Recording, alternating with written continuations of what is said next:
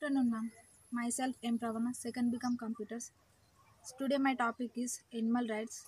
Animal welfare is important because there are so many animals around the world suffering from being used for enter- entertainments, food, medicine, water, fashion, scientific, advertisement, etc. and exhaustive pets. Even animals deserve to have a good life. Statement for animal rights. Animal rights is important because they are protect animals.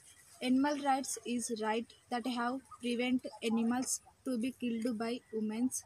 Is our responsibilities to help if you accept that animals you have rights arising and killed animals for food morally wrong and animals arise have an emotionally bond with should not eaten like pigs, golden fish, horse, even rabbit. Hindus does not want to be a part. The total conclusion animal rights. They therefore animals living should be respected because they have an inherent right to treat with dignity. Thank you. Thank you.